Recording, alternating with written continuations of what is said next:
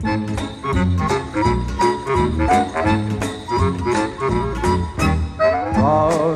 the snowman was a jolly happy soul with a corncob pipe and a button nose and his eyes made out of coal.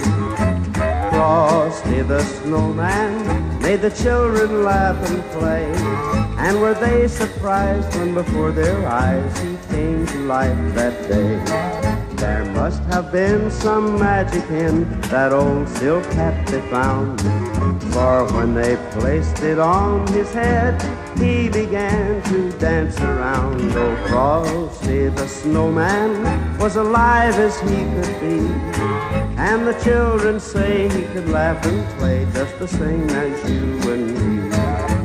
Frosty the snowman the sun was hot that day. So he said, let's run and we'll have fun before I melt.